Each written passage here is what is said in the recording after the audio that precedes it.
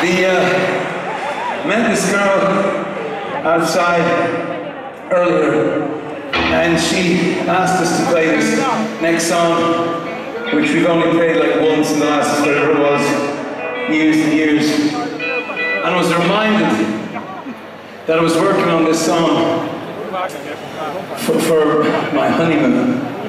And uh, was in Jamaica. Chris Blackwell, uh, who owned Island Records, sent us out, of us, to use his house in Jamaica, which was really amazing.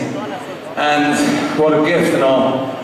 And my Mrs. Ali was saying, so we've got married and it's great, sun, you know, sea, sand.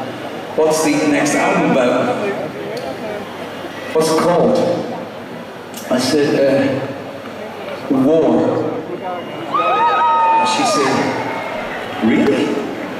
And I said, yeah. I said, but there is one love song on it. They're all love songs, really. But this one song, love song about that, and we're going to try and play it. It's called Two Hearts Beat as One.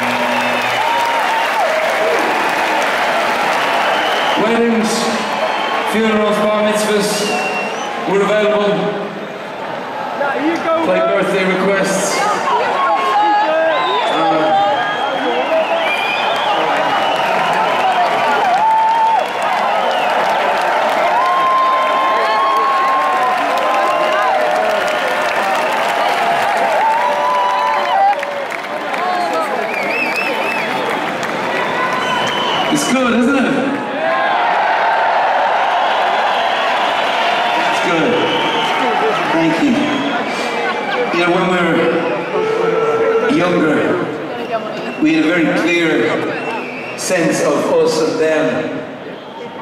bit black and white, but it was a very clear sense of us and them. And then, as we got on in the band, we started to discover that our enemies were a little more um, a little more complicated than that, and that really the biggest obstacles in our way were ourselves. And and so things got a little complicated for us, and even falling in love and can get complicated. I'm so glad that my first love is my last love. But uh, that's a hard thing to hold for some folks. So this is for anyone who missed out on that.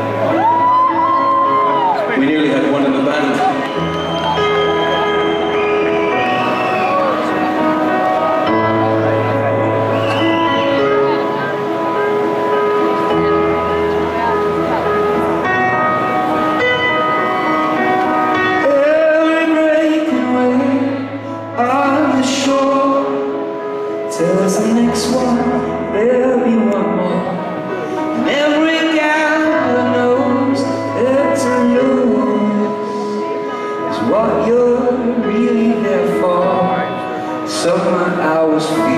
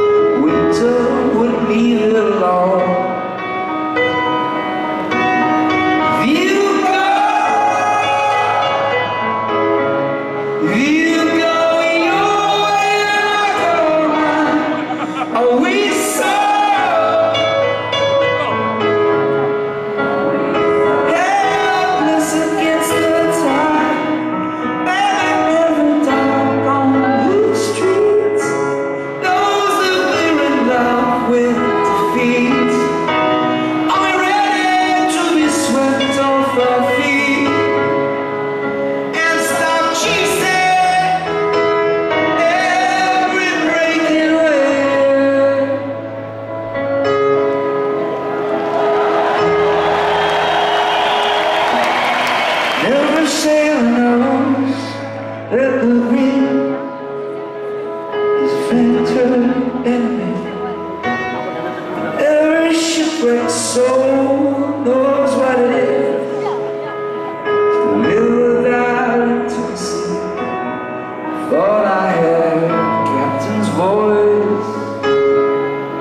It's hard to listen while you reach. Give